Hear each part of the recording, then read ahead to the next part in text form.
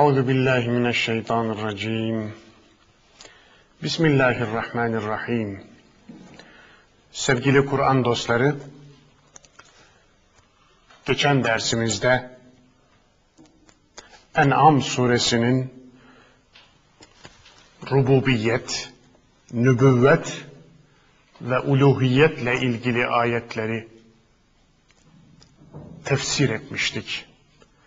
Ve bugün Allah'ın rububiyeti, onun rububiyetinin bir tecellisi olan, Rabliğinin en büyük ifadesi olan insanlığa rahmet ve mağfiretinin bir gereği olan nübüvvet müessesesini işleyen ayetlerin ardından onun uluhiyet ve vahdaniyetine geçmiş ve En'am suresinin 107. ayetiyle dersimizi kapatmıştık.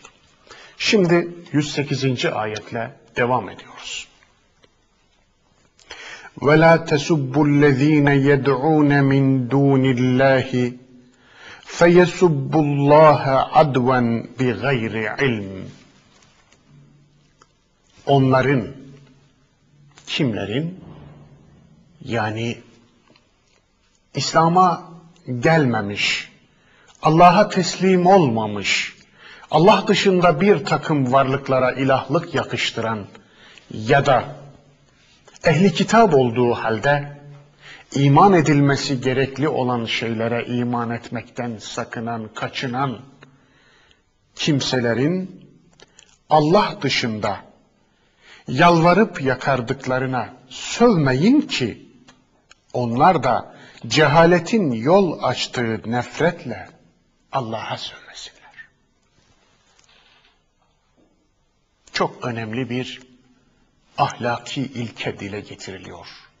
Onların Allah dışında yalvarıp yakardıklarına sövmeyin ki onlar da cehaletle, cehaletin verdiği bir düşmanlıkla Allah'a sövmesinler. Davette hak yoluna, hakikate çağrıda iki şey kesinlikle olmamalı. Bir, küfür, iki, hakaret.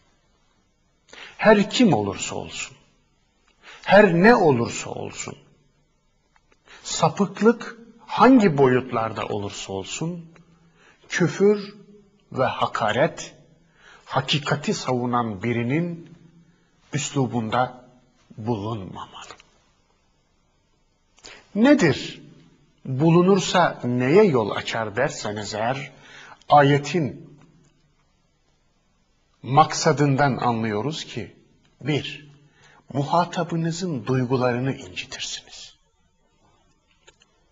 Çünkü siz ona hakikati ulaştırmaya çalışıyorsunuz. Onu kırmaya, gücendirmeye değil, onun gönlünü almaya, onun yüreğini hakikate açmaya çalışıyorsunuz. Hakaret ve küfür, üzüm yemeye değil, bağcı dövmeye yönelik bir taktik olabilir ancak. Onun için hakikati savunan bir insan, hakikati savunmak için hakarete ve küfre ihtiyaç duymaz. Hakarete, küfre, aşağılamaya ihtiyaç duyanlar aslında batılı savunanlardır. Çünkü batılın savunulacak bir tarafı olmadığı için, savundukları tezin tutar yanı olmadığı için ancak karşıdakine hakaret ederek, onunla alay ederek, ona küfrederek kendi haklılıklarını ispatlamaya çalışırlar. Çünkü kendisinin haklılığını teziyle ispatlayamamaktadırlar. Bunun açığını muhataplarına saldırarak, küfrederek kapatırlar. Oysa hakkı savunan birinin bunlara ihtiyacı mı var? Hakikat bizatihi üstündür.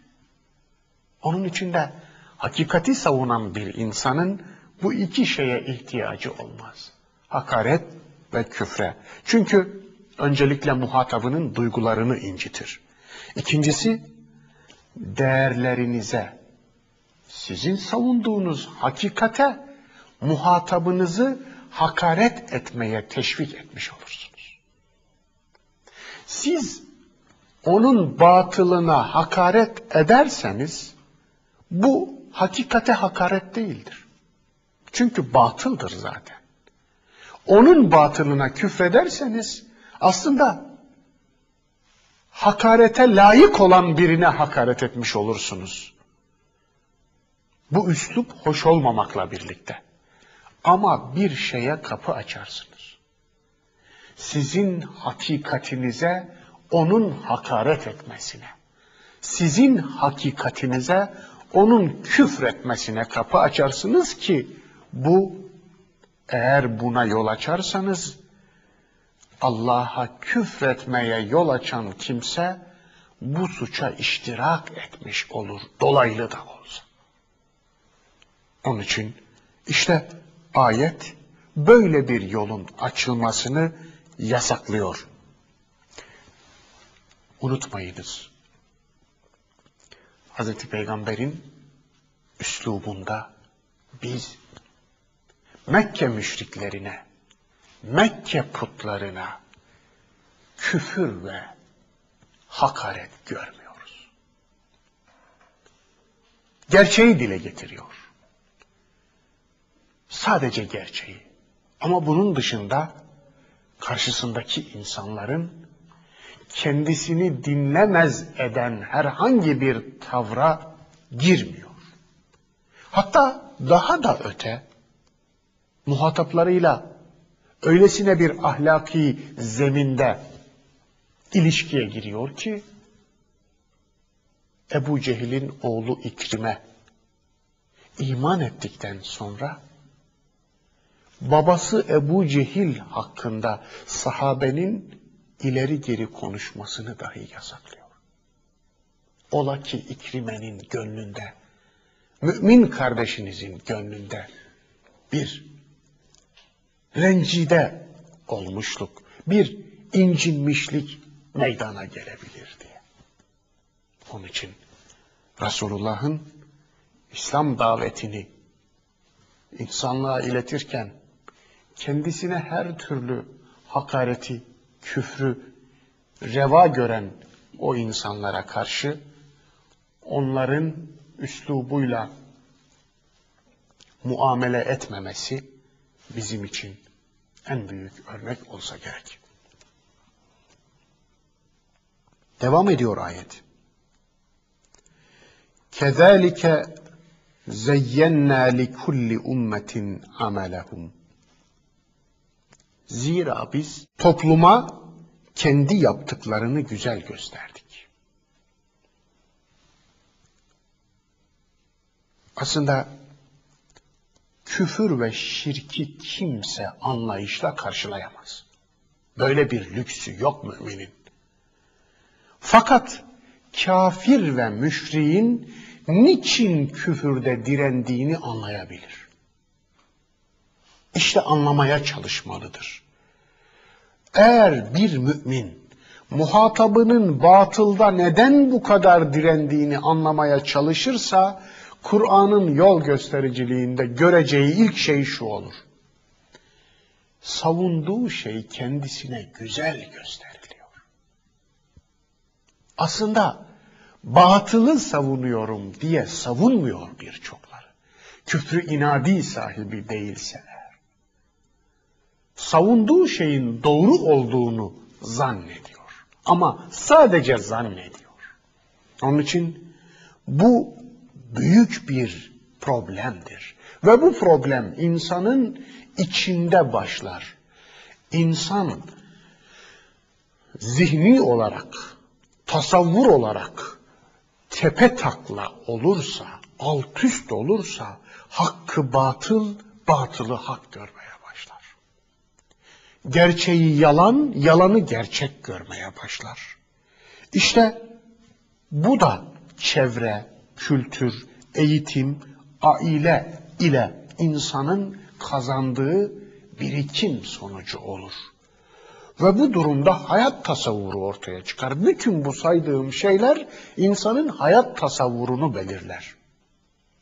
Ve hayat tasavvuru tersine dönmüş bir insan artık hiçbir şeyi olduğu gibi, hiçbir şeyi doğru biçimde göremez.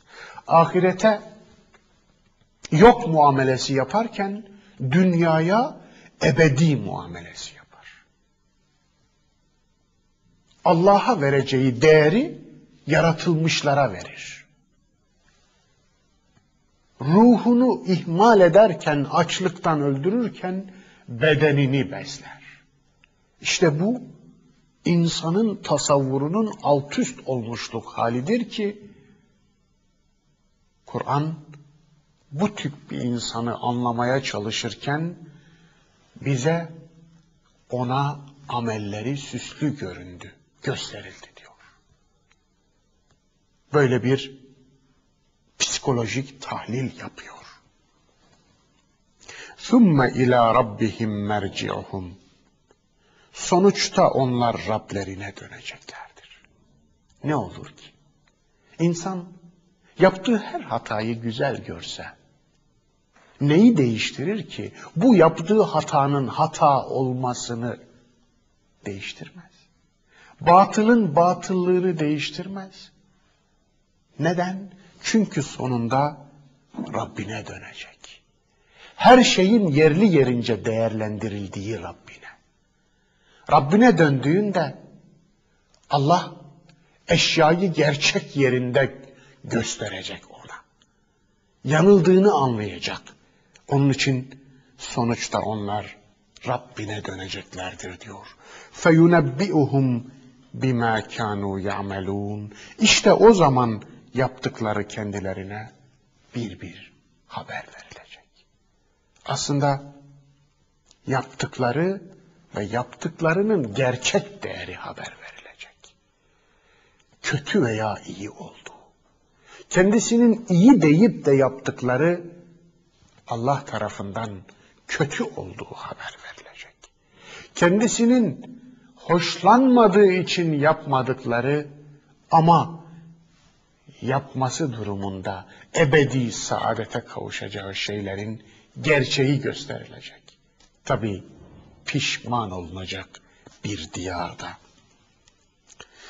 Ve aksemu billahi cehde eymanihim le in caethum ayetun yu'minunne biha Şimdi kendilerine bir mucize gösterilmesi halinde bu vahye iman edeceklerine dair son derece kararlı yeminler ediyorlar. Bu tip insanlar hakikate yaşadıkları ve her anı mucize olan ama sık gördükleri için onun Allah'ın bir mucizesi olduğunu anlamadıkları hayatı bir tarafa bırakırlar da Allah'tan olağanüstü şeyler beklerler. Özel muamele. Bu biraz da şudur. Peygamberliği özelleştirmeye çalışırlar. Hakikati özelleştirmeye çalışırlar. Ve nübüvvetin sırf kendilerine kendilerini ikna etmek için sırf kendilerine çalışmasını isterler. Böyle bir şeye hakları yoktur aslında. Çünkü bir insan hakka gönlünü açarsa eğer açtığı gönlü zaten bir mucizedir. Kendisi zaten bir mucizedir. Gelen ayetlerin her biri zaten bir mucizedir. Dikkatinizi çekerim. Ne diyordu? Ayet-i kerimede ayetun. Mucize diye çevirdiğim kelime bu. Ayetun. Hem ayet, hem mucize, hem işaret, hem mesaj anlamına. Yani Allah'tan mucize isteyenlere en büyük mucize vahiydir. Kur'an'dır. Bununla yetinmeyen, bu mucizenin gönlüne girmediği bir insan hangi mucizeyle ikna olabilir ki demek istiyor. Ve yemin ederler diyor. Eğer bir mucize gösterilseydi vahye iman ederdik derler. Cevap veriyor Kur'an. Kul innemel ayatu indallah. De ki, tüm mucizeler Allah katındadır. Bununla şu söyleniyor. Yani Resulullah'a mucize verilmediği söylenmiyor. Ama peygamberin kendi arzusuyla mucize gösteremeyeceği söyleniyor. Yani peygamber her istediği zaman her istediğine mucize getiremez. Zaten mucize peygamberi de aciz bırakan bir şeydir. Mucizenin anlamı budur. İnsanı aciz bırakan şey demektir. Mucizeler elbette ki olağanüstü şeylerdir. Vahiy de olağanüstüdür. Fakat tabiat üstü değildirler. Olağanüstü olmak başka, tabiat üstü olmak başka. Yine mucizelerde de Allah tabiatı kullanır. Tabiatın yasalarını başka yasalarla değiştirerek mucize gönderir. Ve en ince, en derin anlamıyla mucize yine tabii bir hadisedir. Ama derin anlamıyla. Sünnetullah dediğimiz Allah'ın yaratma konusunda koyduğu ilkeler çerçevesinde gelişir her mucize. Allah'ın sünneti değişmez. Allah'ın sünnetine aykırı bir şey de olmaz. Ama bu noktada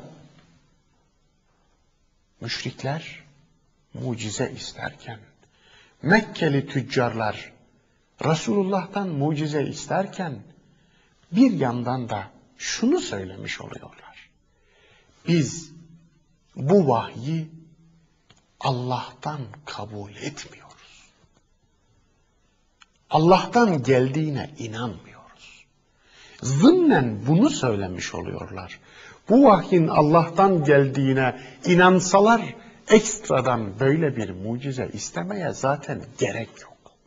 Onun için onların bu talebini Allah bu şekilde değerlendiriyor ve küfürde bir direniş olarak sunuluyor. وَمَا يُشْعِرُكُمْ اَنَّهَا اِذَا جَاءَتْ لَا يُؤْمِنُونَ Ve farkında değil misiniz ki onlara bir mucize gelmiş olsaydı dahi yine de inanmazlardı. Açıkça söylüyor Kur'an. Eğer onlara diyor bir mucize gelmiş olsaydı dahi inanmazlardı. Çünkü daha önce böylesi olaylar yaşandı yeryüzünde. Önceki peygamberlerden mucize isteyen kavimleri mucize gelince ne dediler? Büyücü dediler. Yine inanmadılar. Çünkü problem onlar problemi kendi dışlarında zannediyorlardı. Ama problem içlerindeydi. İnanmamakta ısrarlıydılar. Gelen mucizeyi de inkar ettiler. Bu kez ne oldu? Ve kudiyel emr. Fatura kesildi diyor Kur'an. İş bitirildi. Geri dönüşü olmayan bir yoldur mucize. Mucize gönderildikten sonra eğer mucize isteyenler iman etmezlerse hemen arkasından azap gelir. Gazap gelir. Onun için Resulullah müşriklerin mucize taleplerine karşı hep karşı durdu. Çünkü biliyordu ki eğer iman etmemekte direnirlerse ki direneceklerdi, bu sefer iş bitirilmiş olacaktı. وَنُقَلِّبُ اَفْئِدَتَهُمْ وَاَبْصَارَهُمْ biz de onların gönüllerini ve gözlerini çeviriverdik. Nasıl bir çevirme? Yani artık gözleri görüyor olduğu halde yürekleri görmez oldu. Hakikate karşı gözlerini kapattılar. Ve tabii kalplerini de. Kalplerini çevirince artık hakkı duymaz oldular. Hakka yönelmez oldular. Bu bir mühürlenme hali. Bir başka yerde tabba'allahu ala kulubihim buyurulur. Allah onların kalplerine mühür bastı. Bu döndürme. Eğer yüreği dönerse gerçekten güzeli çirkin görmeye, çirkini güzel görmeye başladı. Tıpkı Ebu Cehil ile Ebu Bekir arasındaki görüş farkı gibi. Ebu Cehil geliyordu diyordu ki, Ey Muhammed, yeryüzünde senin kadar çirkin bir adam görmedim. Bir felaketsin diyordu. Ebu Bekir geliyordu hemen aynı gün. Anam babam sana feda olsun ya Resulallah. Ne kadar. Bu bir bakış meselesi. Nerenizle baktığınız, nerenizle gördüğünüz meselesi. Yürek başkentinde şeytanın iktidar olduğu bir insan, şeytanın gör dediği yerden bakar. Yürek başkentinde imanın iktidar olduğu bir insan, Allah'ın gör dediği yerden bakar. Allah'ın gör dediği yerden bakınca güzel gözükenler şeytanın gör dediği yerden bakınca kötü görünürler. Allah'ın gör dediği yerden bakınca hakikat olan şeyler şeytanın gör dediği yerden bakınca batıl gibi gözükür. Saçma gibi gözükür. Sihir gibi gözükür. Boş şey gibi gözükür gülünç gibi gözükür bazılarına. Onun için gördüğünüzü değil bakışınızı kontrol edin. Ve bakışınızı düzeltmeden baktığınızı düzeltmeye kalkmayın. Bakışı yamuk olanın baktığı hep yamuk olur. Çünkü hiçbir şeyi doğru görmesi mümkün değildir. Bakışı yamuk kema lem yu'minu bihi evvele merre. Ne demişti ayetin başında? Biz de onların gönüllerini ve gözlerini çeviriverdik. Tıpkı ilk başta ona inanmadıkları konumda olduğu gibi. Yani ayetler gelmezken, vahiy ile muhatap olmazken, cahilken, Allah onlarla konuşmazken ne kadar sapıklık içerisinde içerisine düşmüşlerse Allah onlarla konuşmaya başlayınca peygamber gönderdikten sonra vahiy gönderdikten sonra da ilk sapıklıkları gibi hala kör, sağır ve kalpsiz olarak duruyorlar. İşte o ilk gibi evvele merratin ifadesi o ilk sapıklığa dikkat çekiyor. Ve bir şey değişmedi diyor. Çok şey değişti ama bakışı değişmeyince o değişen şeyler onda hiçbir şeyi değiştirmedi. Yeryüzüne güneşin doğması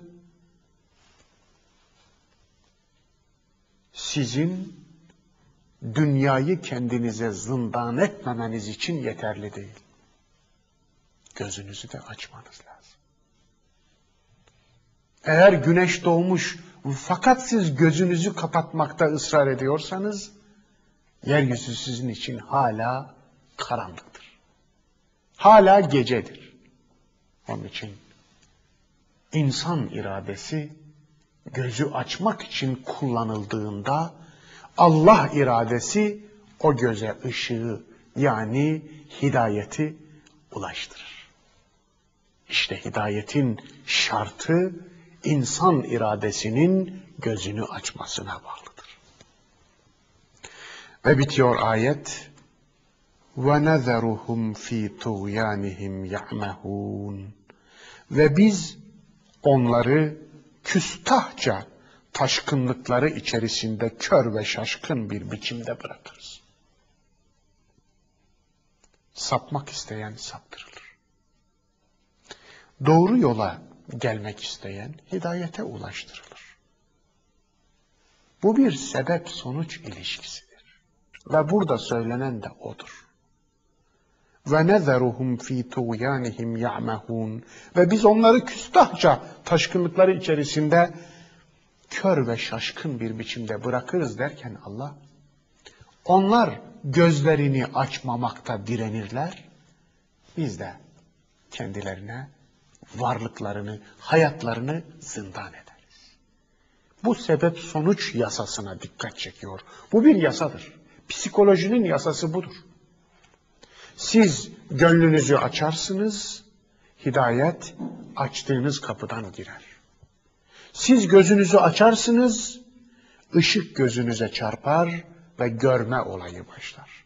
Siz kulağınızı açarsınız, ses kulak zarınıza ulaşır, işitme olayı başlar. Eğer kulağınızı tıkamışsanız sesi yok sayamazsınız. Sesin bundan herhangi bir sorumluluğu yoktur. Sesin sahibine bir şey diyemezsiniz. Siz kendinize deyin. Kulağınızı açmadınız. Ve dolayısıyla summun, bukmun, umyun fehum la yercuun sağır gibi, dilsiz gibi, kör gibi davrandınız ve dönemezsiniz artık. Dönüş imkanını kendi ellerinizle yok ettiniz. Onun için insan psikolojisinin yasasına dikkat çekiyor. Yasa bu. Allah'a atıfla ifade buyurulan yani Allah hidayete sevk etti. Allah onları dalalet içinde bıraktı gibi tüm ibareler, ifadeler hep bu yasa çerçevesinde anlaşıldığı zaman doğru anlaşılmış olur. وَلَوْ أَنَّنَا نَزَّلْنَا إِلَيْهِمُ الْمَلَائِكَةِ eğer biz onlara melekleri indirmiş olsaydık ve kellemehumul mevta bununla da yetinmeyip ölüler onlarla konuşmuş olsalardı yine bununla da yetinmeyip ve haşerna aleyhim kulle şeyin kubula ve gerçeği ispat edecek her şeyi onların önünde toplamış olsaydık kanu li yu'minu illa en yasha Allah. Allah dilemedikçe yine de iman etmezlerdi. Ne kadar, ne kadar açık, net ve dehşet bir hakikat. Allah dilemedikçe yine de iman etmezlerdi. İbaresinin ne anlama geldiğini biraz önce açıklamıştım. Allah ne zaman diler sorusu burada gündeme giriyor. Allah ne yapınca diler? Bu soru çok önemli. İnsan doğru yolu dilediği zaman Allah diler. Vermek dilemeseydi dilemeyi vermezdi. Sözü en muhteşem bir biçimde bu gerçeği hakikat hatırlatıyor. Vermek istemeseydi istemeyi vermezdi. Onun için İstemeyi verdi ki istesinler diye. İstesinler de vereyim diye. Dilemeyi verdi. Nedir dilemek? İrade. iradeyi verdi ki kullansınlar iradelerini. Onların iradelerini kullanmalarının bir karşılığı olarak ben de vereyim hidayeti. Onun için insan Allah'tan aldığı iradeyi yok sayamaz. Ve Allah'tan kendisine bahşettiği iradeyi yok saymasını bekleyemez, isteyemez. Hem iradeli bir varlık olacaksınız, insan olacaksınız, hem de Ya Rabbi beni iradesiz kabul et diyeceksiniz. Hayır. O insan özgürlüğüne, insan iradesine en çok hürmet edendir. İnsanın irade özgürlüğüne en çok hürmet eden Allah'tır diyebilirim. Verdiği iradeyi yok saymaz. Ve insan yok saymasını da isteyemez. Bana irade verdin ama beni mazur gör derseniz eğer, siz kendi iradenize kendiniz hakaret ediyorsunuz demektir. Ve tabi görmek istemeyenin görmeyeceği, duymak istemeyen kimsenin duymayacağı gibi Allah'ın koyduğu psikolojik bir yasaya delalet etmektedir bu ayet yine. وَلَاكِنَّ اَكْفَرَهُمْ يَجْهَلُونَ Fakat onların çoğu bunu bilmemektedirler. Neyi bilmemektedirler? Allah'ın kendilerine verdiği iradeyi kullanmadıkları için, Allah'ın kapısını tıklatmadıkları için o kapının açılmadığını bilmezden gelmektedirler. Onun için de sonuçta yine faturayı Allah'a çıkarmaya kalkışırlar utanmadan. Burada kafaları çalışmamakta diyor ayet. İnkarlarının kaynağındaki yatan sebebi anlayamamaktadırlar. Çünkü akıl kendini güven içinde hissetmediği zaman çalışmaz. Zaten problemleri de burada. İnsandan Allah niçin iman etmeyi ister? İnsanın kendisine imanından Allah'ın çıkarı nedir? Hiçbir çıkar yok. Bunu tersiyle düşünelim.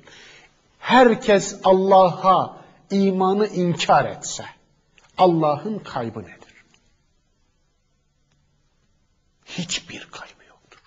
O halde imandan mutlaka bir çıkar olması lazım. Çünkü çıkarsız bir şeyi emretmez Allah.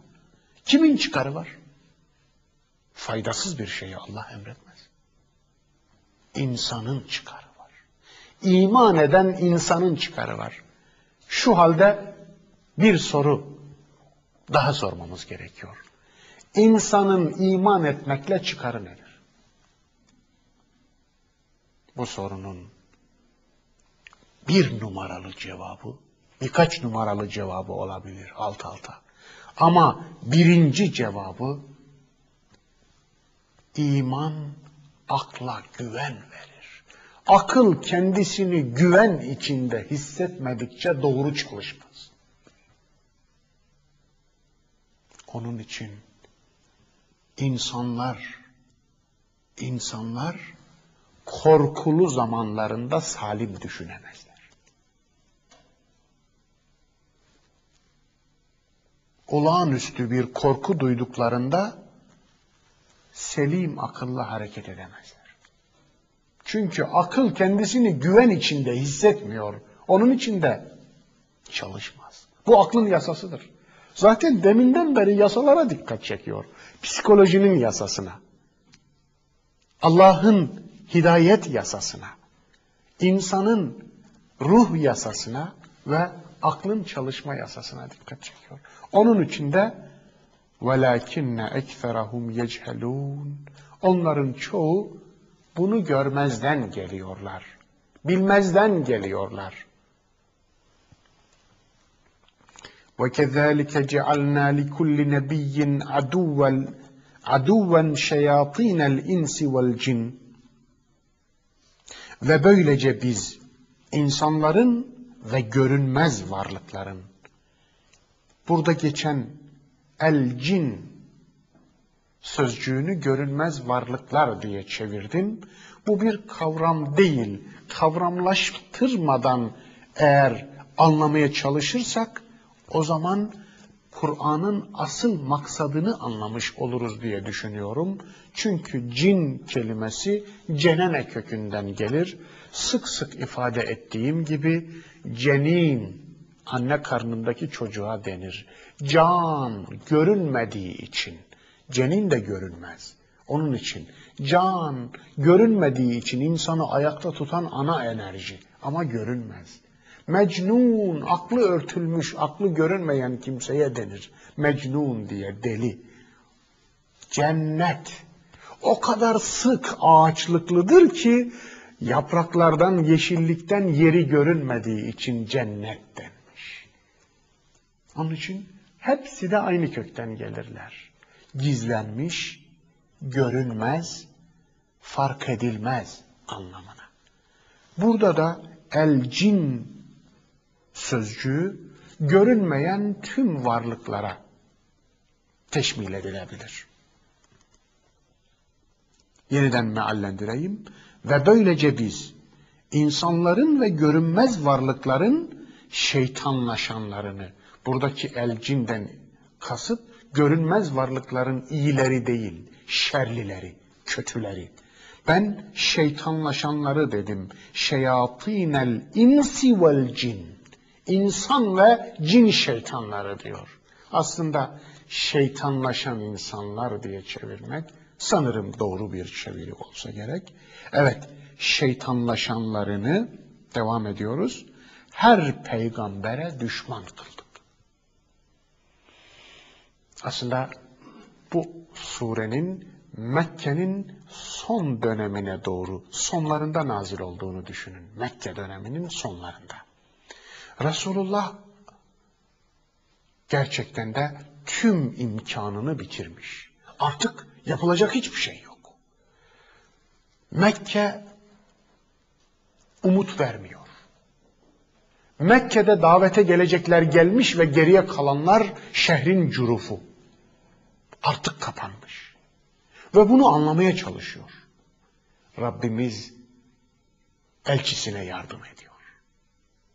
Ve Allah bizzat anlatıyor. Neden bu hale geldiler?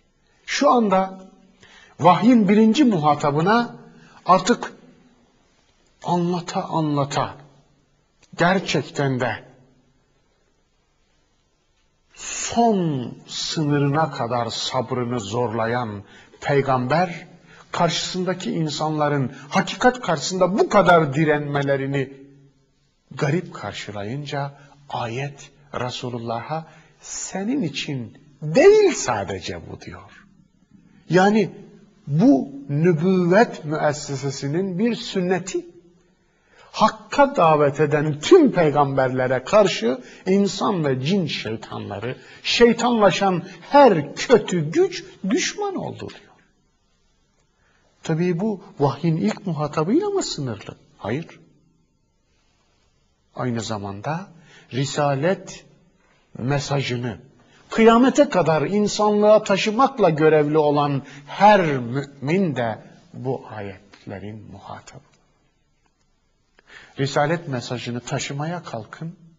Karşınızda bu tarihi değişmez sünnetullahın gerçekleştiğini görür ve hemen karşınızda şeytanlaşan insanları buluverirsiniz verirler.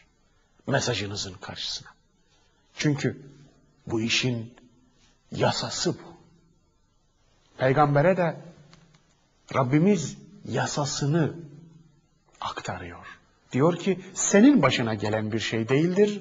Tüm peygamberler ve onları takip eden tüm risalet davetçileri bu şeytanlaşan insanların düşmanlığına muhatap olmuşlardır.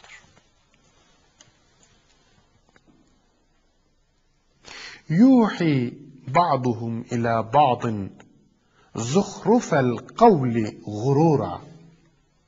Onlar aldatmak amacıyla birbirlerine yaldızlı ve parlak sözler üzerine kurulmuş yarı hakikatleri, teorileri telkin ediyorlar. Ayetin muhteşem ifadesine bakınız. Değerli Kur'an dostları. Onlar sırf aldatmak amacıyla diyor, birbirlerine yaldızlı ve parlak teorileri söylüyorlar ki ikna edebilsinler. Evet, biraz önceki o insan ve cin şeytanından bahseden yere bir atıf yapmak istiyorum.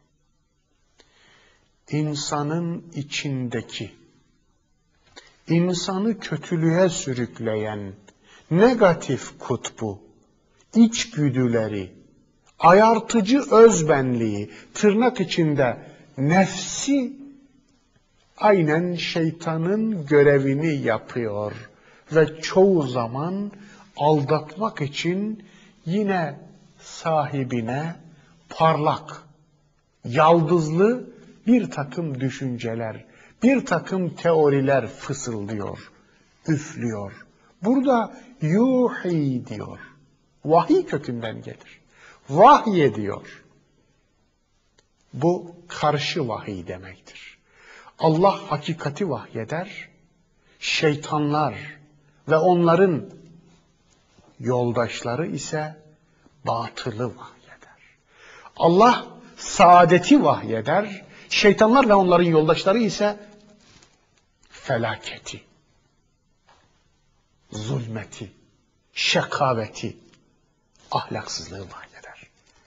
Burada adeta iki vahiy arasındaki farka dikkat çekiyor ve bize şunu söylüyor ayet.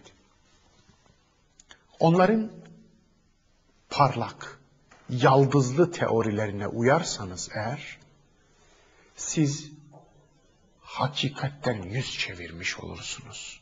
Çünkü hakikat çıplaktır. Hakikat o kadar ilginç değildir.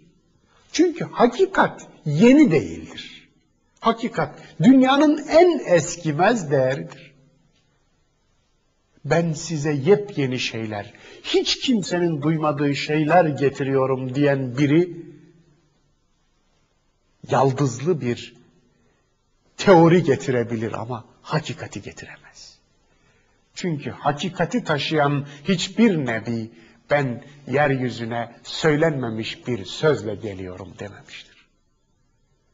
Daima ben benden öncekileri tasdik etmek için geliyorum. Ben size benden önce insanlığa Allah'ın bildirdiği gerçekleri hatırlatmaya geliyorum demiştir. Unutmayınız. Onun için peygamberler türedi ve nevzuhur değil, bir hatırlatıcıdır. Nezirdir, uyarıcıdır. Hatırlatıcıdır. Unuttuklarını hatırlatır. Onun için vahyin bir ismi de zikrdir. Hatırlama, hatırlatma amaçlı olduğu için zikrdir. Niçin? Aslında insana kendi özünü hatırlatıyor. Yeni bir şey getirmiyor. Ve insanı bir başka şeye de davet etmiyor. Kendine gel diyor. O kadar. وَلَوْ شَاءَ رَبُّكَ مَا فَعَلُوا Ama eğer Rabbin dileseydi onlar bunu yapamazlardı. Yine burada silsile halinde gelen yasalara, ilahi kanunlardan birine atıf var. Rabbin dileseydi onlar bunu yapamazlardı. Parantez içinde biz ne anlıyoruz? Ama Rabbin bunu dilemedi. Dileseydi onlar böyle yapamazlardı. Yani parlak bir takım teoriler ileri sürerek insanları arkasına dökemezlerdi. Yalanlarına bu kadar müşteri bulamazlardı Rabbin dileseydi. Ama Rabbim onu dilemedi. Neyi diledi? İradeyi diledi. Seçmemizi diledi. İnsana iradeyi verdi ve iki yolun ağzına bıraktı.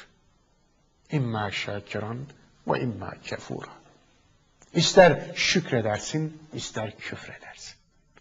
Tercihini sen yap. İşte bunu diledi Rabbimiz. Buradan yola çıkarak şunu söyleyebiliriz. Şeytani teori ve ideolojiler hep olacak. Yeryüzünün hiçbir tarihinde şeytanlar ve şeytanca ideolojiler, şeytanca düşünceler, şeytanca sistemler eksik olmayacak. Onun için de bir mümin böyle bir dünya hayalleyemez. Yani dikensiz gül bahçesi olmayacak. O halde Allah'ımızın bunu bize hatırlatmasından maksadı ne olabilir diye düşünmek de bize düşmüyor? Maksadı şudur. Ey insan vazifeni yap. İmanının sana yüklediği sorumluluğu üstlen ve görevini yerine getir. Yeryüzünden tüm dikenleri temizlemek gibi bir görevin yok. Sen gül olmaya çalış. Onun için burada hatırlatılan hakikat Rabbimiz dileseydi bu olmazdı. Ama öyle dilemedi yasasıdır. Fezerhum ve ma yefterun. O halde onlardan da uyduruk teorilerinden de uzak dur. Ben yefterun sözcüğünü uyduruk teoriler biçiminde çevirdim ki bugün gerçekten de birçok insanı saptıran ideolojiler hep bu uyduruk teorilerin üzerine kurulmuş. Bakınız, insanlığı nasıl taştan taşa çalıyorlar o ideologlar ve koydukları ideolojiler. Freud'u düşünün. Darwin'i düşünün. Nietzsche'yi düşünün. Ve diğerlerini düşünün. Marx'ı düşünün. Bir ideoloji ortaya attı. Uyduruk bir ideoloji.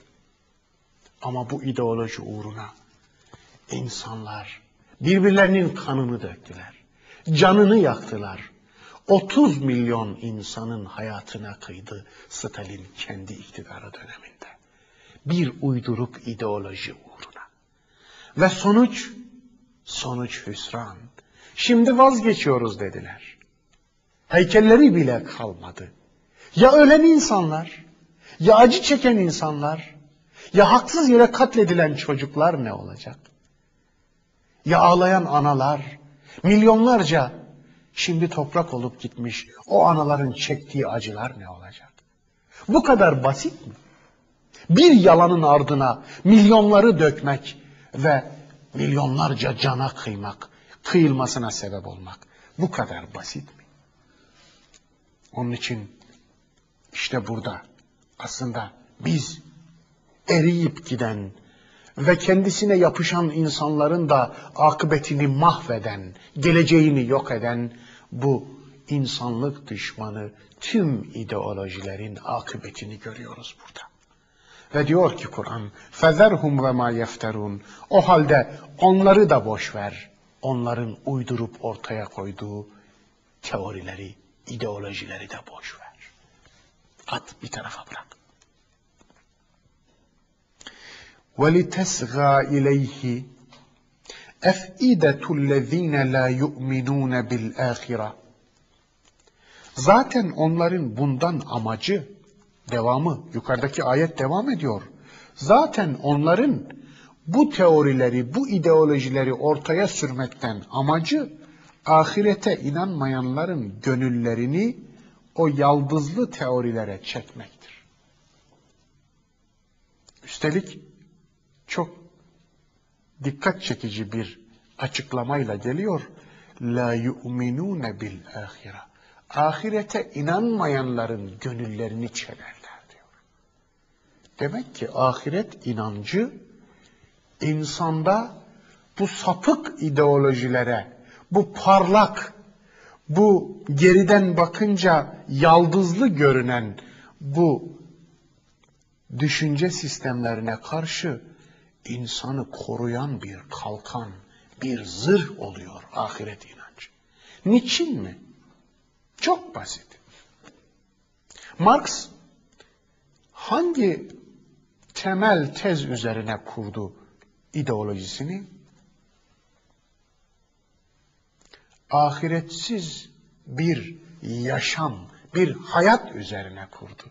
Dünya cenneti vaat etti. Ve proletaryanın, işçi sınıfının hakim olduğu bir düş ülke, bir ütopya, bir hayal ülke kurdu ve insanları buna davet etti. O zaman insanlar mutlu olacaklardı. Böyle bir düşünce ahireti yok sayan bir düşünceydi. Çünkü yeryüzünde cennet kurmaya çalışıyor. Ütopya. Onun karşısında kapitalizm de aynısını yapmadı mı? Keynes'in teorisi Marx'ın tam zıttına yeryüzünde yine farklı bir yöntemle cennet kurmak değil.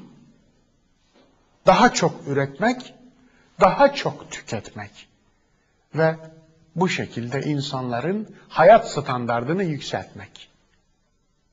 Bunun karşılığında neye mal oluyor? Neye mal olursa olsun. Başkalarının alın terini tüketmişsiniz. Başkalarının hakkını tüketmişsiniz. Sizin saadetiniz başkalarının felaketi üzerine kurulmuş. Ne kıymeti var değil mi? Siz hayat standartınız çok yüksek bir biçimde yaşayacaksınız diye yeryüzünde yetersiz beslenmeden ve açlıktan yılda 100 milyon çocuk ölse ne olur ki? İşte mantık. Ahireti olmayan bir mantık.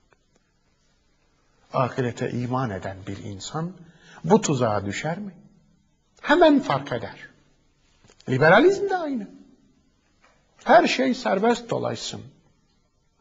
Bir yönüyle güzel. Zaten bu ideolojiler bir yönüyle doğruyu temsil ediyor. Ama bir yönüyle de batılı temsil ettiği için hakikatin tamamını göremedikleri, hakikati parçaladıkları için insanı felakete sürüklüyorlar.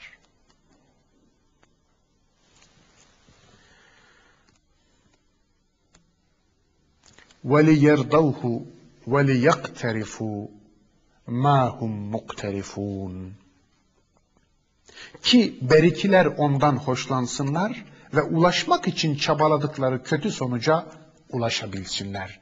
İktiraf, yaranın kavlayan kabuğu anlamına geliyor Arap dilinde. Ragıp müfredatında böyle naklediyor. Ağacın soyulan kabuğuna bu isim verilir diyor. Adeta burada söylenen şey, insan bir curuf gibi dökülecekse dökülsün. İnsanın iyisini kötüsünden böyle ayırıyoruz demeye getiriyor Cenab-ı Hak burada. Efe gayrallahi ibtegi hakemen ve huvellezî enzele ileykumul kitâbe mufassala. De ki, hakikati açık ve net bir biçimde ortaya koyan bu ilahi kelamı size gönderen o iken, iyi ve kötüyü belirlemede, tırnak içinde böyle bir açıklama yapmalıyım, iyi ve kötüyü belirlemede ondan başka bir hakem mi arayacağım? Yukarıdan itibaren söylenenlerin getirdiği ana fikir bu aslında. Zemahşeri mufassalı iyi ve kötüden ayıran şey olarak nakletmiş. Böyle anlamış. Mufassala diyor ya, bu kitabın vasfı, iyiyi kötüden ayıran. Dolayısıyla biz bu ayeti şöyle anlayabiliriz. İyi ve kötüyü ortaya koyan bu vahiy elimizde dururken, şimdi kalkıp da iyi ve kötüye yeni ölçüler mi arayacağım? Yeni hakemler mi arayacağım? Bu ne demektir? Bu Allah'ı bırakıp iyi ve kötüyü Allah'ın belirleme hakkını inkar edip Allah'ın Allah'a ait olan yalnız Allah'a ait olan bir yetkiyi gasp etmek. İster siz kullanın, ister bir başkasına verin. Kime verirseniz ona Allah'a ortak koşmuş olursunuz o kimseyi. Çünkü iyi ve kötüyü belirleme yetkisi sadece Allah'a ait.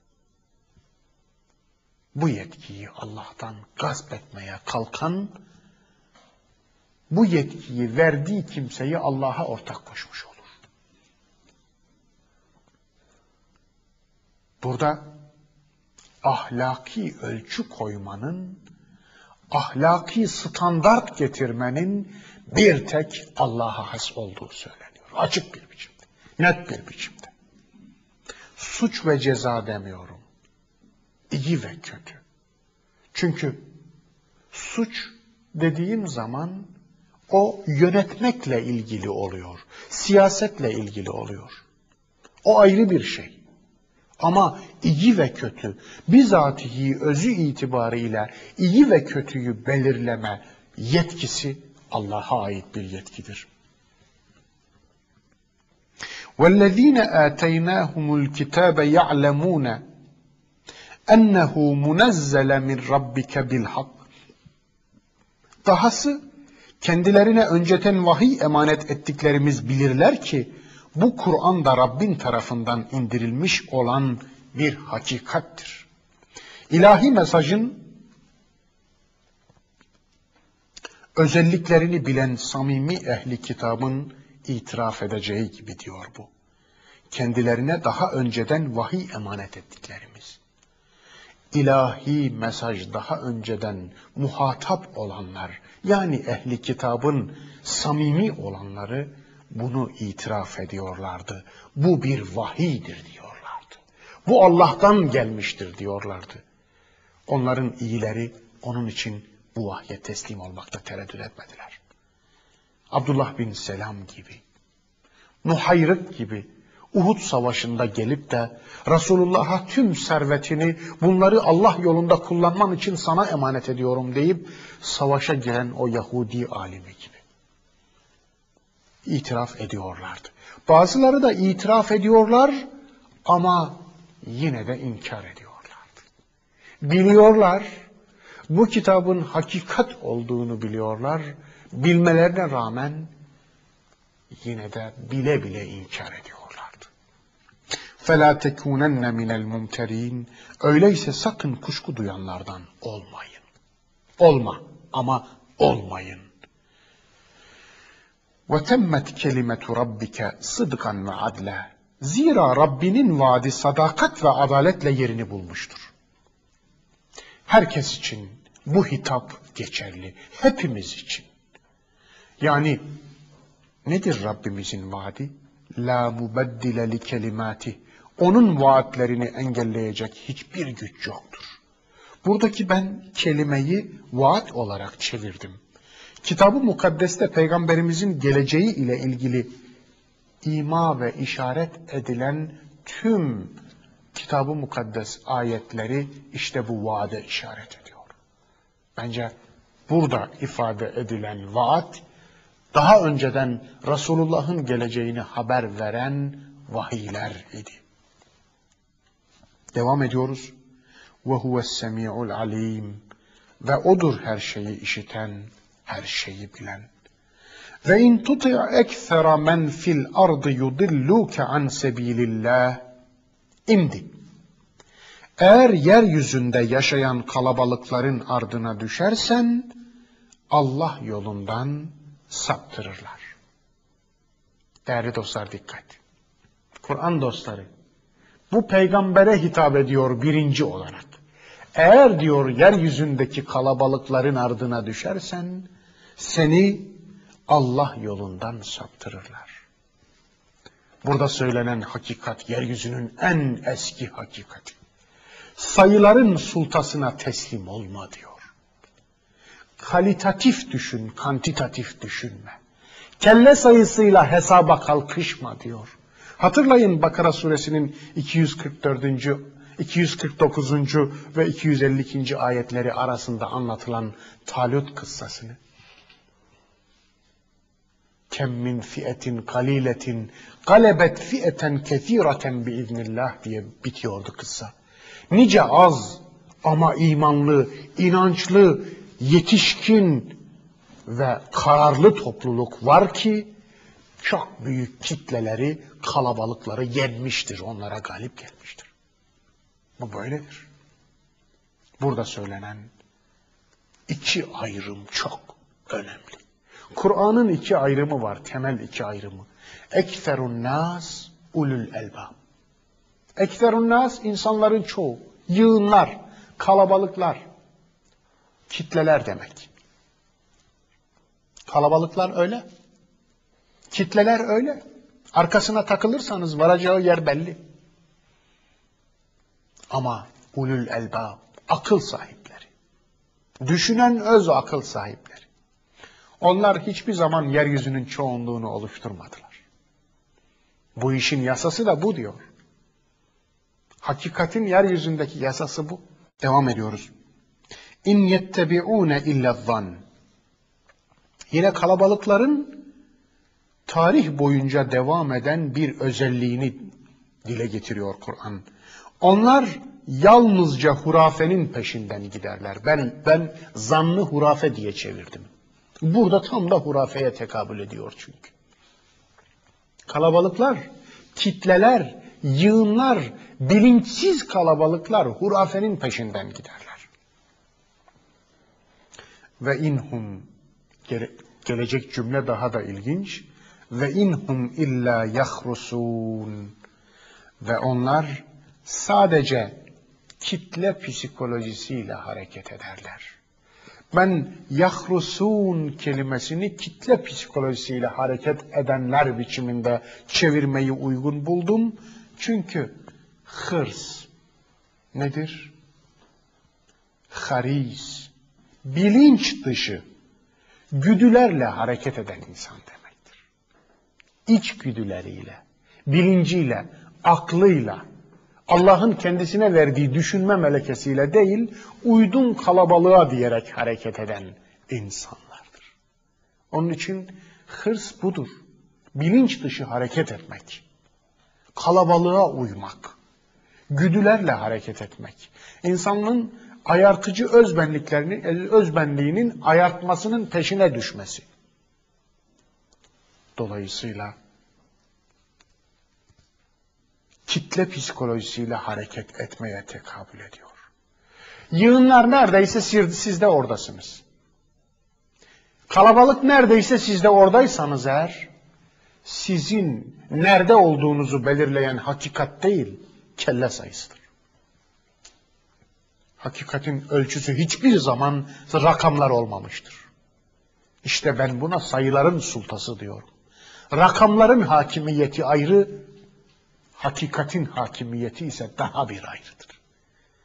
Hakikatin gücüne güvenen rakamlara bel bağlamaz. İnne rabbeke huve a'lemu men yadillu an sebilihi ve huve a'lemu bil muhtedin. Hiç kuşkusuz senin Rabbin kimin kendi yolundan saptığını, kimin de doğru yolda olduğunu en iyi bilendir. فَكُلُوا مِمَّا ذُكِرَ اسْمُ اللّٰهِ عَلَيْهِ Ayet, bu ayet farklı bir konuya getirdi sözü. Ama aslında yukarıyla çok bağlantılı. Ayeti bitireyim, bağlantısına değineceğim. O halde üzerine Allah'ın adının anıldığı şeylerden yiyin. Bir hitabı anlamak için, onun ne dediğini anlamak için neye karşı olduğunu anlamak lazım. Bu ayetin neye karşı olduğunu anlamadan ne dediğini anlayamayız. Neye karşı? Karşısında kendi kendine bir şeylere yasak koyan insanlar var.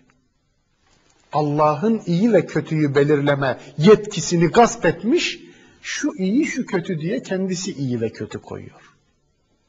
Dolayısıyla yasaklar koymuş. Ekstra yasaklar, fazladan yasaklar şunlar şunlar şunlar yenmez diyor. Niçin? Yukarıdan anlıyoruz niçin olduğunu. Kalabalıklara uymak için. Herkes öyle yapıyor da onun için. Cevabı bu. Herkes yapıyor. Onun için yukarıyla çok doğrudan bağlantılı bir pasaj. Bu yeni pasaj. O halde üzerine Allah'ın adının aldığı şeylerden yiyin. İn kuntum bi ayatihi mu'minin. Tabii ki onun ayetlerine içten inanıyorsanız. Dine zam yapmaya ayete inanmamak biçiminde bakıyor Kur'an. Ek yasaklar koymaya onun ayetine inanmamak biçiminde bakıyor. Onun içinde diyor ki onun ayetlerine yürekten inanıyorsanız bazı şeylere yasaklar koymayın. Allah'ın adının anıldığı şeyleri yiyin diyor. Hurafeye dayalı yasaklar bunlar tabii. Niçinin tek cevabı biraz önce de söylediğim gibi herkes öyle yaptığı için. Hemen asr-ı saadetten bir örnek hatırlıyorum. Resulullah'a İslam'ını ilan etmek için gelmiş bir kabile vardı 9. yılda. Bu kabile giderken Hazreti Peygamber onlara şöyle ilginç bir şart koştu. Yürek yemezseniz imanınız olmaz. Yürek yemekle imanın ne alakası var diyeceksiniz. Hayır. Öğreniyoruz ki araştırdığımızda bu kabile kesilen helal hayvanların kalplerini, yüreklerini yemeyi haram bilirlermiş.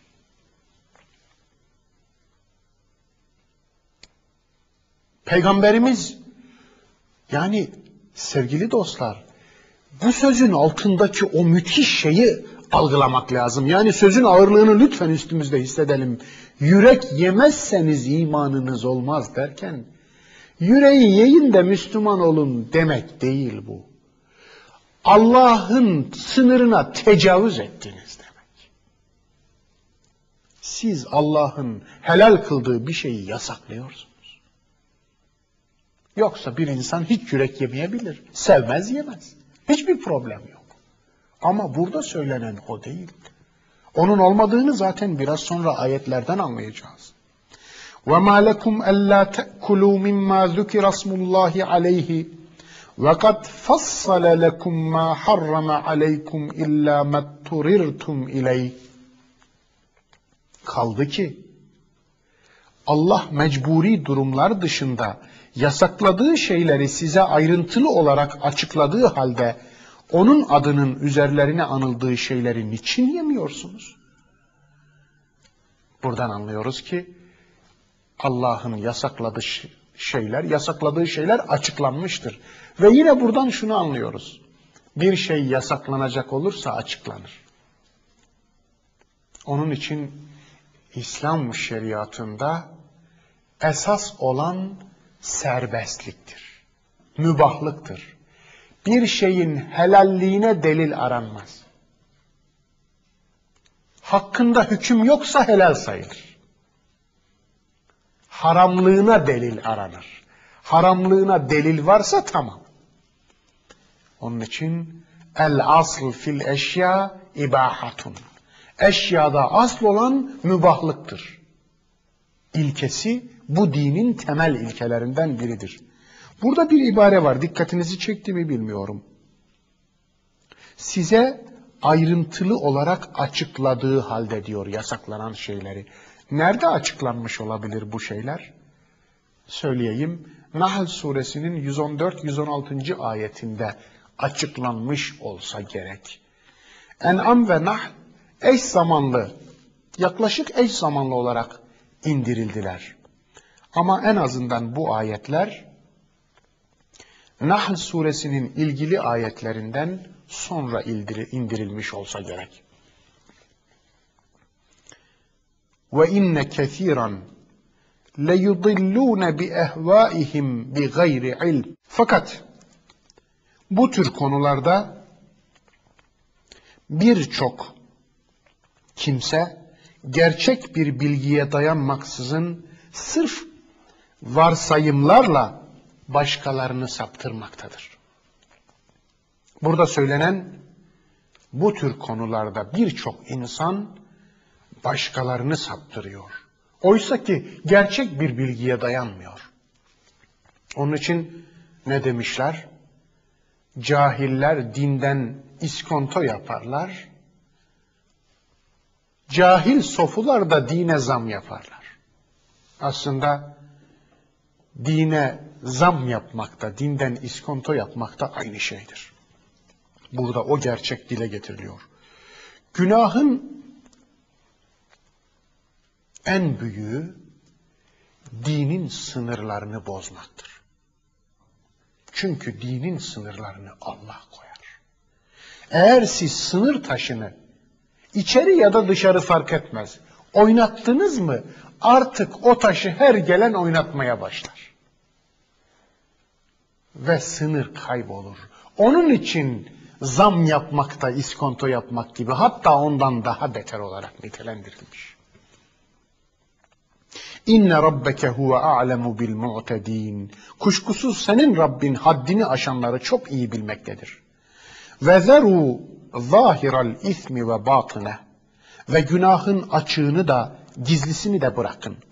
Günahın açığı günah olduğu herkesçe bilinip teslim edilen, gizlisi ise herkesçe bilinmeyen şey demişler müfessirler. Ama ben daha farklı bir yorum getirmek istiyorum. Dinden eksiltmeyi açık günah, dine zam yapmayı da gizli günah biçiminde anlayabiliriz. Çünkü fazla dine zam yapılınca bunu dindarlık gibi algılıyor birçok insan. Onun için ayetin günahın gizlisi derken kastettiği şeylerden biri de bu olsa gerek diye düşünüyorum. İnnellezîne yeksibûnel isme seyuczevne bimâ kânû yakterifûn. Unutmayın ki günahkar kimseler işledikleri yüzünden cezalandırılacaklardır. Ve la te'kulû mimmâ lem yuzker ismullâhi aleyhi ve innehu. Üzerlerine Allah'ın adının anılmadığı şeylerden yemeyin çünkü bu gerçek bir sapmadır. Evet, üzerlerine Allah'ın adının anılmadığı şeylerden yemeyin diyor. Aslında bunun mefhumu muhalifinden çıkarsak doğrusunu doğru anlamış oluruz. Allah'ın adının anılmamasından kasıt Allah'tan başkası adına kesilenlerdir. Çünkü Mekke'de müşrikler putları adına kesiyorlardı. Ve Maide suresinin üçüncü ayetiyle birlikte düşündüğümüzde doğru anlarız bu ayeti. Ve ma uhille li gayrillahi bihi. Nasıl? Orada yasaklar sayılıyor yukarıdan beri. Yani leş diyor, domuz eti diyor. Yasakları sayıyor ve en sonunda getiriyor dördüncü yasak olarak Allah adına, Allah'tan başkası adına kesilenler de haramdır diyor. Demek ki asıl yasak olan şey Allah'tan başkası adına kesilen. Onun içinde birçok fakih, birçok müştehit Allah adına kesildiği kesin olmasa dahi Allah'tan başkası adına kesilmemişse onu helal saymışlardır. Yani keserken Allah adını unutmuş olabilir. Almamış olabilir. Ama Allah'tan başkası adına kesilmemişse o şey helal olarak nitelendirilmiştir. Çünkü eşyada asıl olan iba, ibahattır, mübahlıktır, serbestliktir. Bu da bu ilke çerçevesinde anlaşılmıştır. Ve inne şeyatine leyuhune ila evliyaihim ve şeytanlar kendi dostlarına sizi iyi ve kötünün belirlenmesi konusunda tartışmaya çekmeyi telkin ederler. Ve in eta'tumuhum innekum le müşrikun. Dikkatinizi çekerim. Biraz önce söylediğim şey buydu. Gelecek demiştim. Eğer onlara uyarsanız hiç kuşkusuz siz Allah'tan gayrısına ilahlık yakıştırmış olursunuz. İyi ve kötüyü belirleme hususunda eğer tereddüde düşer ve birilerinin de iyi ve kötü ahlaki doğrular ya da yanlışlar koyacağını, ahlak standartlarını Allah'ın yetkisinden çıkarıp bir başkasına vermeye kalkarsanız işte o zaman siz onu Allah'a ortak koşmuş olursunuz diyor. Ben demiyorum yani bir abartı falan sanmayın bir yorum da değil ayetin ta kendisi. Gerek içeriden gerek dışarıdan.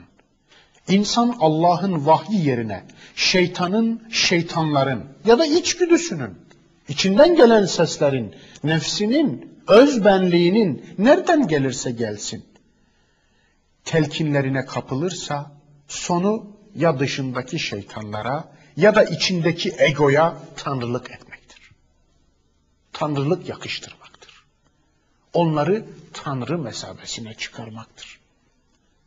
Ahlaki kanun koyuculuğu yani iyi ve kötüyü belirleme hakkını Allah'tan başkasına veren bir muhakeme tarzı şirk muhakemesidir. Bu açık. Eve men kâne meyten فَأَحْيَيْنَاهُ وَجَعَلْنَا لَهُ نُورًا يَمْشِي بِهِ فِي النَّاسِ Manen ölüyken hayat verdiğimiz ve insanlar arasında yolunu bulmak için kendisine ışık tuttuğumuz kimse. Kur'an kavram dünyamızı sarsıyor değerli Kur'an dostları. Dinlediniz mi ayetin mealini? Ölümden söz ediyor. Ölüyken hayat verdiğimiz, dirilttiğimiz diyor. Ölümü ve dirilişi Kur'an bizim anladığımız gibi anlamıyor. Tamamen değiştiriyor. Bakınız. Ölü kimdir, diri kim sizin defterinizde? Siz kime ölü diyorsunuz? Sizin ölü dediğinize Kur'an diri diyor. Evet. Şehide ölü diyorlar. Kur'an dili diyor fakat siz bilmezsiniz diyor. Ama sizin diri zannettiğinize Kur'an ölü diyor. Onun için bu kavramları yeniden düşünün diyor Kur'an. Kur'an'a göre düşünün. Allah'ın gör dediği yerden baktınız mı diri zannettiğiniz birçok insanın dik sürünen bir ölü, ölüden berbat bir şey olduğunu görürsünüz. Onu söylüyor. Ve burada hayat tasavvurunu gözden geçirmemizi istiyor. Hayata siz ne anlam veriyorsunuz? Kim yaşıyor, kim yaşamıyor? Falanca ne güzel bir hayat yaşıyor. Acaba, acaba dediğiniz gibi mi? Bir de Allah'a sorun. Falanca ölmüş Allah'a göre. Onun için Allah yeniden tanımlıyor bu tanımları Kur'an'la. Bu açıdan dikkat edelim.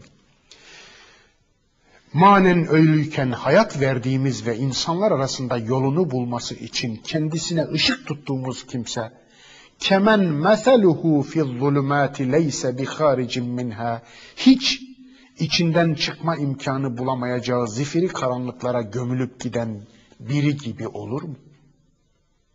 İkisi, iki insan. Allah'ın ışık verdiği kimse, içinden çıkamayacağı karanlığa gömülüp giden kimse. Çok ilginç.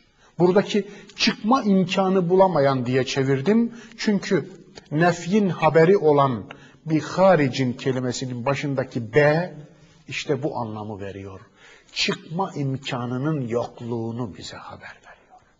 Kendi karanlığına gömülüyor çünkü. Bunu söylüyor Kur'an. Kezalike zuyyine lil kafirine ma kanu ya'melun. İşte böyle inkarcılara yaptıkları güzel görünür. Yine psikolojik yasa gündeme geldi. Niçin yapıyorlar diye sormayın. Veya şöyle demeyin. Ya bu adamlar akıllı adamlar. Bu adamlar paralı. Bu adamlar akıllı olmasa böyle rahat olmazlar, böyle zengin olmazlar, böyle iktidara gelmezler. Böyle derseniz eğer şunu unutmayın. Bu adamları Allah indinde ölü yapan şey onların bu andaki iktidarları, şunları, bunlarına bakarak değer vermiyor ki Allah. Allah onların değerini ölçerken onların Allah karşısında, hakikat karşısındaki konumlarına bakıyor. Dolayısıyla siz onları değerlendirirken şöyle bakın olaya. Bunlar yaptıkları kendilerine güzel gösterilen kimseler. Akıllı gibi duruyor ama batılı hak diye savunuyor. Yanlışı güzel diye, çirkini güzel diye, eğriyi doğru diye savunuyor. Çünkü şeytan onların akıllarını alt üst etmiş. Daha doğrusu kendi içgüdüleriyle kendi egolarını tanrılaştırmışlar. Onun için Allah'ın gördüğü yerden değil, şeytanın gördüğü yerden bakıyorlar. وَكَذَٰلِكَ جَعَلْنَا ف۪ي كُلِّ قَرْيَةٍ اَكَابِرَ مُجْرِم۪يهَا لِيَمْكُرُوا ف۪يهَا Dikkat edin sevgili Kur'an dostları. Bakın anlama. Ve böylece her ülkede entrika ve hile düzenini kuran düzenbaz suçluları oranın el üstünde tutulanları kılarız. Ne kadar tanıdık geliyor değil mi bu ayet hepimize? Ne diyor? Ve böylece her ülkede entrika ve hile düzenini kuran düzenbaz suçluları oranın el üstünde tutulan önde gelenleri kılarız. Ekabiri kılarız. Değerlendirme, ölçme yetisini kaybetmiş bir toplumun zorunlu olarak uğrayacağı musibet budur. Akıbeti budur. Ayaklar baş, başlar ayak olur. Amuda kalkmış bir toplum haline gelir. En adisi en tepesine çıkar. İşte bunu işaret ediyor Kur'an. Buna diyor bir toplumun en iğrenci, en kötüsü, en ahlaksızı en tepesine gelir. Çünkü fertlerin hayat tasavvurları alabora olmuştur, tepe takla olmuştur. Hayat tasavvuru alabora olmuş fertlerden oluşmuş bir toplumun tepesinde ayaklar gezer. Devam ediyoruz. وَمَا يَمْكُرُونَ اِلَّا بِاَنْفُسِهِمْ وَمَا يَشْعُرُونَ Fakat çevirdikleri entrikalar yalnız kendi aleyhlerine olur da onu dahi anlamazlar. وَإِذَا جَاءَتْهُمْ آيَةٌ قَالُوا لَنْ نُؤْمِنَ حَتَّى نُؤْتَى مِثْلَ مَا اُوْتِيَ رُسُلُ اللّٰهِ Ne zaman onlara bir ayet gelse, Allah'ın peygamberlerine verdiklerinin benzeri bize de verilmedikçe inanmayız derler. Yukarıyla bağlantısız gibi sanmayın sevgili dostlar. Hemen hatırlayın. İlle bunu ağızlarıyla demeleri gerekmiyor ki.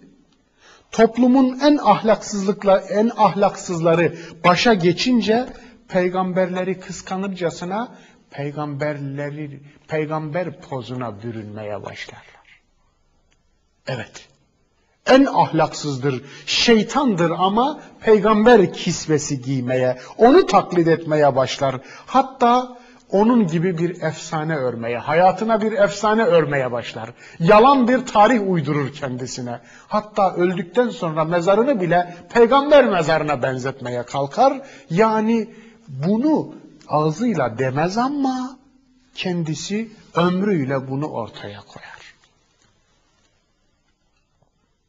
Allahu a'lemu haythu yec'alu risaletehu. Oysa ki risaletini kime vereceğini en iyi bilen Allah'tır. Seyusibu lezine ecramu sagarun indallah. Suç işlemekte ısrar edenler Allah katında aşağılanacak. Ve azabun şedidun bima kanu yemkurun. Ve entrikalarından dolayı şiddetli bir azaba çarptırılacaklardır entrika, yalan, hile ve düzenbazlık üzerine iktidarlarını kuranların akıbeti merak ediyor musunuz?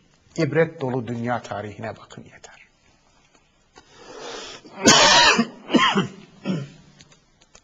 فَمَنْ يُرِدِ اللّٰهُ en yehdiyehu yeşrah sadrahu lil İslam. Allah kimi doğru yola ulaştırmak isterse onun kalbini İslam'a açar. Teslimiyet için genişletir. O kadar. وَمَنْ يُرِدْ أَنْ يُضِلَّهُ يَجْعَلْ صَدْرَهُ طَيِّقًا حَرَجًا كَأَنَّمَا يَسَّعَّدُ فِي السَّمَاءِ Kimin de sapmasına izin verirse, onun kalbini de adeta göğe tırmanıyormuş gibi daraltıp sıkıştırır. Yukarıda nasıl tercüme ettim? Dedim ki İslam'ı teslimiyet olarak tercüme ettim. Allah'ın koyduğu ölçüye teslim olmakta hiç zorluk çekmez. Kimin kalbini Allah teslimiyete açarsa da maksat budur. Ya Rabbi ben benim için senin benim için istediğini istiyorum. Ya Rabbi sen neye güzel demişsen ben de ona güzel diyorum. Bu benim için yeterli güzel ve çirkin, iyi ve kötüyü belirleme ölçüsü sana ait. Senin ölçün benim için baş üstüne ya Rabbi. Teslimiyete kalbi açması budur işte. İlginçtir. Sanki göğe tırmanıyormuş gibi Allah da kimi sapkınlıkla karşı karşıya bırakırsa göğe tırmanıyormuş gibi içini daraltır diyor, sıkıştırır. Göğe tırmandıkça oksijensizlikten nefesi daralan ve sonunda içi dışına çıkarak iğrenç bir şekilde can veren birini örnek gösteriyor. Beden için oksijen neyse ruh için de iman odur demek istiyor ayet. Nasıl havasız kalınca ölürseniz, imansız kalınca da ruhunuz ölür. Ebedi hayatınız ölür diyor. Hayatını Allah'la anlamlandırma, anlamlandıramayan bir kimsenin manevi ölümünü tasvir ediyor bu.